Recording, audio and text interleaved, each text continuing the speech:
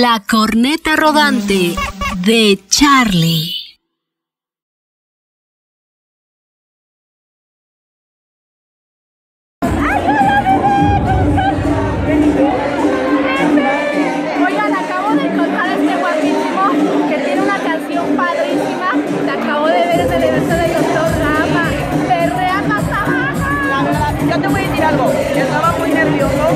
Porque estaba Cintia Climo, estaban varios artistas y yo decía, güey, no me van a pelar. Porque antes de subirme ellas estaban en su pedo tomándose selfies y así.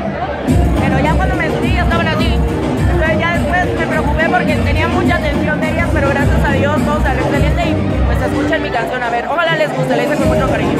Está buenísima tu canción, a mí me encantó. Oye, ¿cómo se